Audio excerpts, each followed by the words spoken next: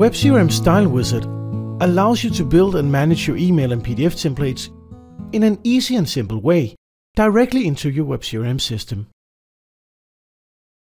The wizard lets you create and define different default themes to your templates, so you then can have a variety of standard expressions when you send your emails or PDF documents out to your customers and prospects.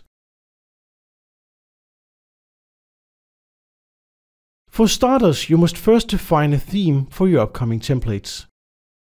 Therefore, you must access the Wizard Template tool here in Utilities, Templates, and Wizard Themes.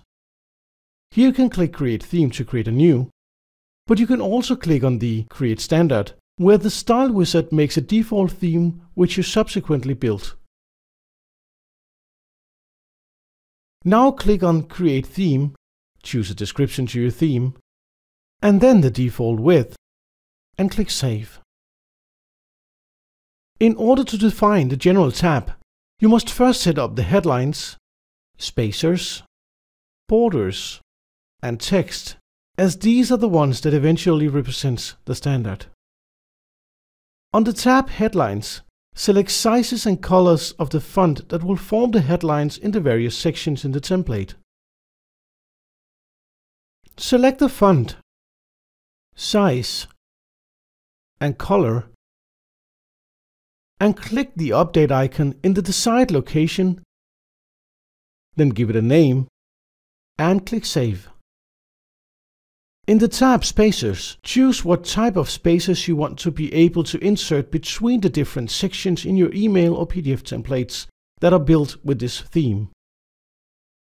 The spacer can be both transparent but also contain a horizontal line that clearly shows your newsletter sections. Now insert the different type of spaces to be used by this theme and click Save. In the tab Borders, you must first define the type of borders you want in example to be around your sections or blocks in the templates using this theme. Therefore choose the size of the border if the line should be solid, dotted or dashed, as well as the color the border should have. Note that if you don't choose a color, the border will automatically be transparent. Continue selecting the borders you want available to this theme and click Save. In the tab Text, select the fonts you want to have the ability to choose to templates that uses this theme. Therefore choose the font, size, as well as formatting and colors, and click on the update icon on the line where to place it, and give it a description. At the same time, you also need to select the link color of the font for when the font is used as a link. Continue selecting the remaining fonts you would like to have and click Save. Here, in Images, you can upload the images and banners that should always be available when the theme is selected. In Files, select the standard attachments to your template with this theme.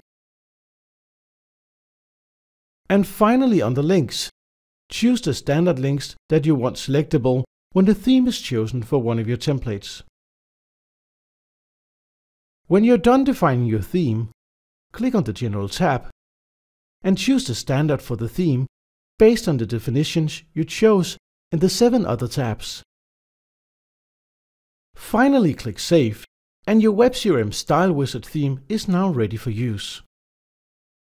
Remember that you can always create a default theme instead of starting from scratch where you easily can change the standards which are defined.